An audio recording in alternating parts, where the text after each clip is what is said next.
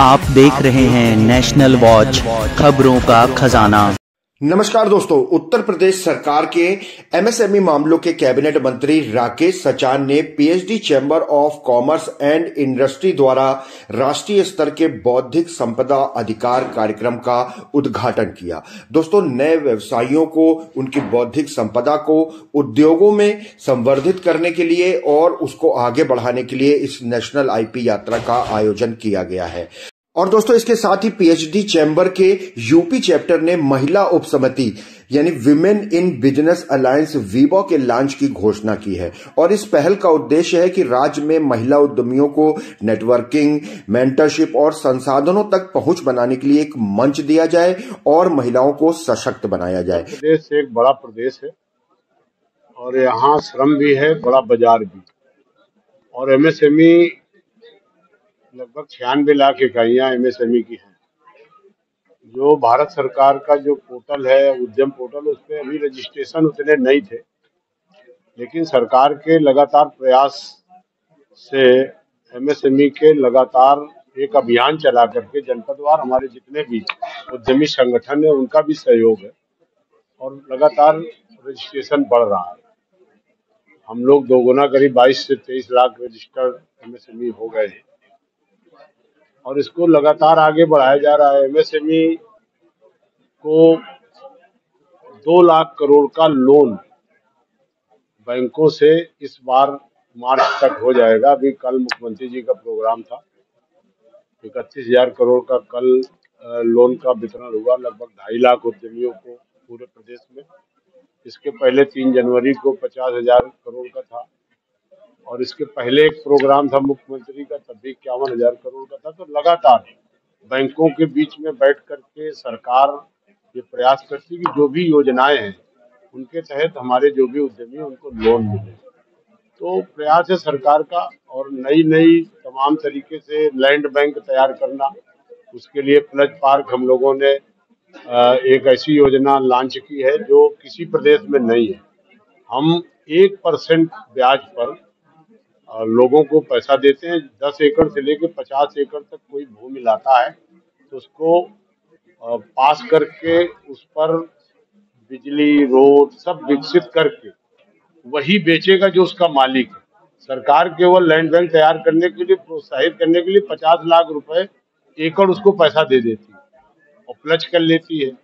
आप विकसित करके एमएसएमई को प्लाट बेचिए, उसमें सौ परसेंट स्टैम्प ड्यूटी की छूट है कि हम पैसा भी देंगे, डेवलप भी कराएँगे और जो भी एमएसएमई या जो भी इंडस्ट्री का व्यक्ति वो जहाँ ज़मीन खरीदेगा तो सरकार उसकी मदद के लिए 100 परसेंट उस पर स्टैम्प ड्यूटी छूट देगी और बिजली की आपूर्ति के लिए वहाँ एक सब स्टेशन बना करके 24 घंटे बिजली की तो ये सारी सुविधाएँ सरकार दे रही है और उसके लिए हम ग्यारहवा कल उन्नाव में हम लोगों ने प्लस पार्क को चेक दिया है।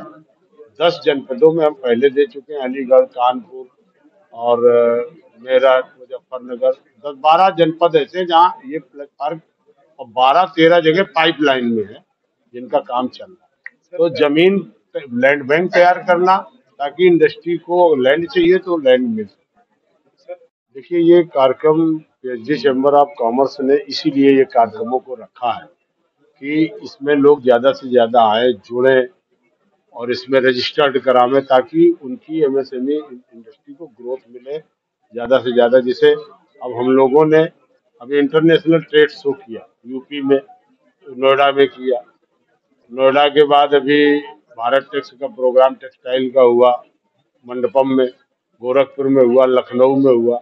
ये सब कार्यक्रम रहते हैं कि जो भी एमएसएमईज हैं, इनकी पैकेजिंग अच्छी हो, इनको, जो हमारे ये सारे संगठन मिल करके इसको आगे बढ़ा रहे हैं कि ज़्यादा से ज़्यादा ग्रोथ करें। इसी तरह के ये कार्यक्रम करके इनको जोड़ने का काम बिल्कुल जो आईपी यात्रा है अभी गोयल साहब ने बताया मंत्री जी ने भी हमारी कई आईपी यात्रा को आ, का उद्घाटन किया है। आज भी जैसे आप देख रहे हैं कि राकेश सचान जी ने ये आईपी यात्रा का उद्घाटन किया है।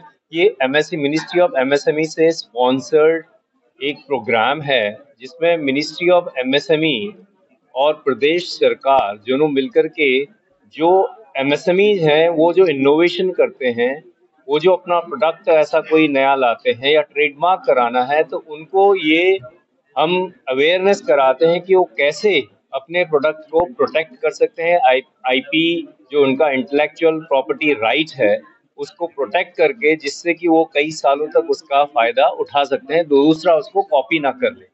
क्योंकि इसकी अवेयरनेस बहुत कम है और सरकार से मिलकर के ये हम जगह जगह अभी हमने ये पांचवी हमारी आईपी यात्रा, पूरे देश में इस तरह की आईपी यात्राएँ की जा रही हैं और इसमें हमें पूरा सहयोग है।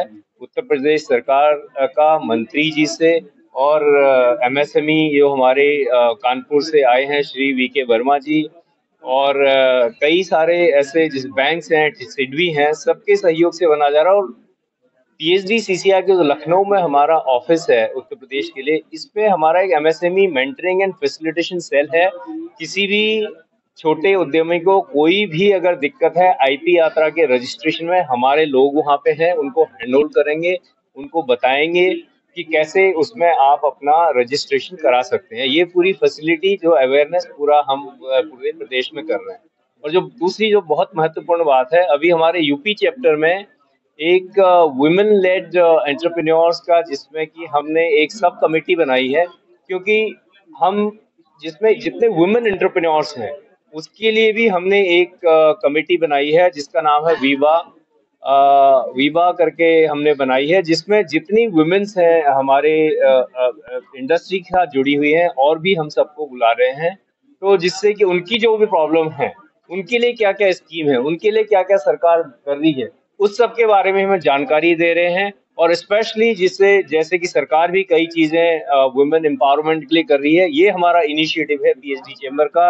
यूपी चैप्टर में ये जो कमेटी हमने बनाई है, एक अलग से, वो सिर्फ़ वुमेन लेड एंटरप्रेन्योर्स मेरा नाम मिसेस कविता निगम है और मैं पीएचडी चैम्बर ऑफ़ कॉमर्स में जो वुमेन का सब सब कमेटी है उसकी मैं चेयरपर्सन हूँ। मैं पच्चीस साल का एक्सपीरियंस एज एन आंट्रप्रनोर भी है, क्योंकि मैं करम सेठी उद्योग से मेरा वास्ता है पिछले पच्चीस सालों से।